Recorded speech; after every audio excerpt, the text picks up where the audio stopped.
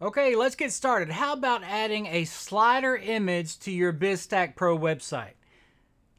Let's go to my computer and we'll get started right away. The first thing we're going to do is, of course, I've got a web page. I'm in the builder. Uh, I'm going to, I've just added this section on the top and I'm going to add a row and it's going to be a one column row and then I'm going to add an element. And all we need to do is scroll down until we get to the image slider element. All right, we're going to get to the image slider element. Now you can, since we're already highlighted, you can click on it and just let it go there, or you can drag it. I like to just click. Okay, so the optimal size for this image from all my research is 1080 by 500. And you can put as many pictures as you want on here. Typically, we would go with three to five images. So I've already got three images already set up that I'm going to go grab real quick and we're going to add it into it. So right here on the right hand side, oh, let me turn on my mouse for you real quick. I'm sorry, hold on. All right, now you can see my mouse. Over on the right hand side where we're looking at our little control area, we're going to click on slide one and then we're going to go down here and it's asking what image do we want to use. Let's click on our icon here. I'm going to, I've already organized mine. I'm going to go to Andy Delgado. And then I've got uh, tutorial images right here, another folder. And then finally, I've got one called video slider. All right, now I have my images labeled one, two, three, and that's the order I want them to go in. So all you have to do is double click the image and boom, it's automatically there. So let's talk about some things that you can do with this image. If somebody just clicks on the image, it will take them to a URL if you choose. If you don't have a URL there, nothing's going to happen. It could be just an informative slider. In our case, um, to add an image, normally this would go to my tutorial page. I'm just going to leave it alone. Uh, you can make it open in a new tab or not. You can say leave it in current, whatever we want to do. So in this case, nothing's going to happen when they click this one. Slide 2, though, I want to go back and let's get that image. And that's under Andy Delgado. And that's under Tutorial Images. And that's under Video Slider and then slide two. Now I do want this, oops, double click. Now I do want this to actually go to that URL if somebody were to click it. So we're going to come over here and we're going to say andydelgado.com slash tutorials. Okay, now these are just PNG images. You can't put a video on here, but you can put a GIF. Hold on just a minute, let me show you that uh, tutorials and I'm just going to let this open in the current tab. Now you can adjust the size any way you want to do um, and let me explain real quick that as it stands this does not look good in mobile. You would have to format it to an area square right there in the center for it to show up right. But I'm going to show you how you can copy it and and hide the other one and make it good and so give me just a second. Let's go back to slide 3 and we're going to put our GIF in there because I decided that we needed to have a little bit of action, a little bit of motion. Motion draws your eye, that kind of thing. And it's not a whole bunch of motion, but I've got it here. So let's get it. All right, so um, video slider, and then image three is a GIF. All right, here we go. And that's all I've got. The little mouse is clicking. And of course, when you click that image, I'm going to want you to go to getbizstack.pro. So let's do that real quick. Get bizstack.pro. Oh, pro. All right, and I want I do want that to open in a new tab. I don't want this to optimize the image in this case. I want the video to be exactly like it is. And of course, if we wanted to add more images here for our video slider, we would just click on Add Slide. Okay, now you can't. there's not much you can do here. You could change your height and your width. If it were me, I would adjust one or the other, not both unless you know exactly what you want that to do. Uh, there's not much that you can do as far as dressing it up. If you wanted to put a border around that, you would have to do that at the column level, right? So you could adjust that. We, we could make it a border. We could round the images. Anything we want to do, we would do it at the column level. So let's save this and go look at it real quick. I'm not worried about any of this. And we need to publish. Okay, let me give you an option here. If you want to publish it so you can click on this link to do it, do that. If you just want to preview it, after you save, click on the eyeball. All right. Now, this should rotate automatically about every four seconds, maybe five. Uh, there it goes. And then if I were to click on this, it would actually open it. You see down here at the bottom left, it showed it down there. Look again.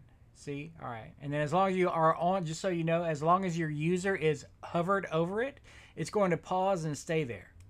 And as soon as they move away, the countdown should continue and it'll go on to the next slide. There we go. And you see my GIF is working fine. The image is clicking like it's supposed to be, giving them a hint to click this. And if I click it, it's going to move in a new tab like I told it to do. And it takes them to my getbizstack.pro site. So let's go back and look and see what you should do if you want this. Oh, let me show it to you in mobile, how bad it looks. I shouldn't say it looks bad, but so in mobile, um, normally you would be looking at a, uh, we want this to go look, let's say you're looking at an iPhone. See the slider, it just doesn't look good here. And you can see, I mean, it's just a, it's funky. So we're going to fix that. I don't like that. What I like to do in the case of a an object that is just not doing what you want to do in mobile, what I'm going to do is I'm going to clone this one. Okay. And then this one I'm going to hide on mobile. All right. And on this one, after I modify it, I'm going to hide it on desktop. Now, most phones, if you if you'll get an idea, most phone the width that you would want is going to be about 500. So we're going to change this and change the width. Oh, come here, you. 500 and make this zero. Hide it out. There we go. Now, as soon as it catches up to me, it's actually going to put that where we want to go. Let's save it and test it.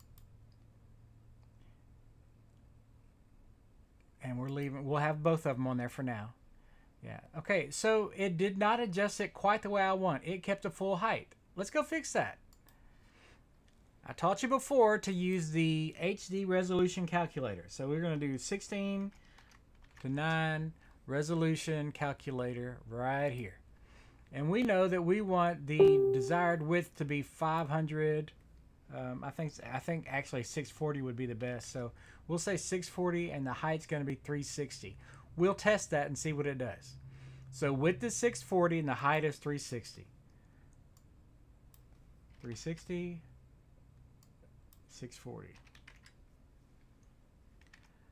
All right. Now you can see it's dynamically resized it for us. It's a little bit skewed. It cut off the image a little bit. Let's go see what it looks like. We're going to save it. And we're going to preview it. Oh, that looks good. It cut off a little bit, so we could adjust the height down a little bit. But I think I'm going to leave that alone. That's a good, good, good area for us to demonstrate with. Now, now that we have what we want, we can hide this one from the desktop. We don't need people seeing both of them, right? So we're going to click on the bottom one, the second one, the one that we adjusted the size, and we're going to come over here to advanced, and we're going to hide it on desktop. Goodbye.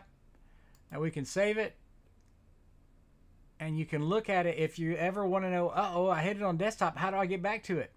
Click on your phone image up here at the top, and it shows you the one that's on it shows you the one that's on uh, phone and hides the one that's on desktop, like it's supposed to. All right, let's come back up here and turn you back to where you're supposed to be. Now, we should be ready to go, so let's save it, and we're going to publish it. And then if we click on it here, it should go to it. This is the desktop version. The slider is going to go through all three slides. Perfect. Beautiful. Now, if we change it to a and we have to refresh since we changed it in midstream. There we go. There's our first one. There's our second one. Now this is also looking at as if it were an iPhone SE. If you go up to some of the newer ones, then of course it changes it. And then once you change your, your image up there, you'd want to refresh again. There we go. Now, if you want to get perfect, what you would need to do is find out what the resolution is on what the common phone would be. And then you would want to go no wider than that resolution. So let's go just do some Googling.